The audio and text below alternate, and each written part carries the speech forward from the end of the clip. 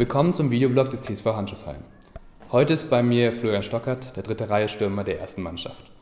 Florian, es war ein sehr enges äh, und gutes Spiel gegen Neuenheim.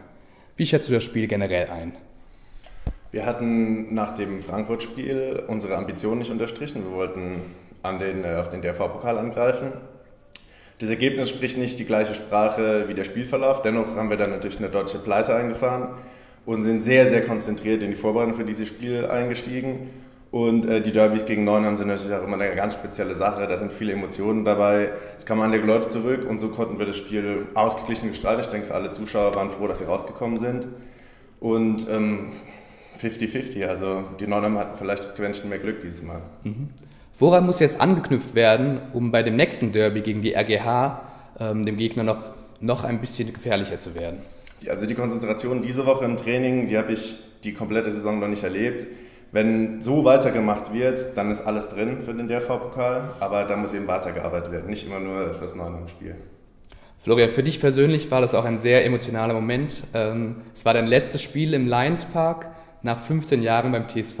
Wohin wird es für dich weitergehen? Was wird passieren? Ich habe es äh, trotz Rugby geschafft, ähm, Bauingenieur zu studieren in äh, Karlsruhe und habe ein Jobangebot bei einem Immobilienentwickler in Hamburg bekommen und da wird es mich jetzt erstmal hin verschlagen. Ich bin da deutschlandweit viel unterwegs. Ob ich dann hier oft in der Nähe bin zum Trainieren, das wird sich zeigen, aber ähm, würde ich mal nicht drauf hätten, leider.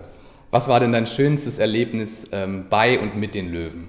Ähm, natürlich die Ligapokalsiege, der DRV-Pokalsieg, aber ähm, eigentlich immer, wenn wir da unten in der Kabine stehen, alles gesagt ist und gerade die Heimspiele, wenn wir dann da hochlaufen, da sind alte Trainer, alte Mitspieler, Leute, deren Erbschaft man angetreten hat. Das ist einfach was ganz Besonderes, weil man weiß, für die Leute bedeutet es viel und ähm, ich hoffe, ich werde auch eines Tages oben stehen können. Man merkt ja schon, dass der TSV mehr als nur ein Verein ist und für viele Spieler auch immer sein wird.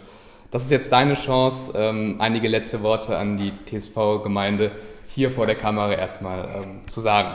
Bitte, Florian.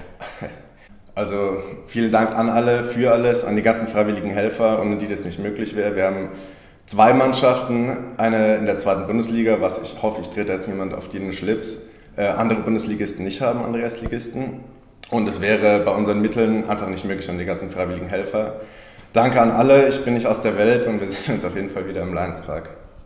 Vielen Dank für deine Zeit, Florian. Vielen Dank für dein Engagement im Verein und ähm, für alles, was du jemals dem Verein gegeben hast. Dankeschön.